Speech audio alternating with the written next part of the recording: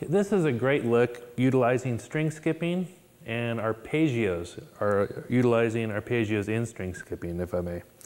And this is in the key of A minor.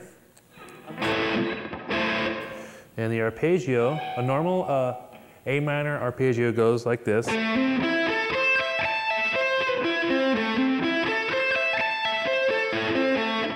I'm gonna do this.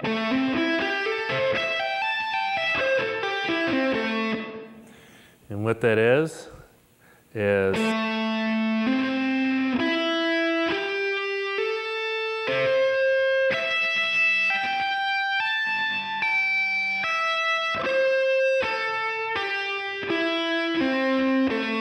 Notice the strings that I skipped right here?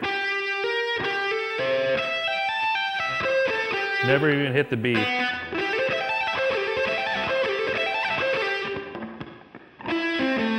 So here's the first part, then the string skipping.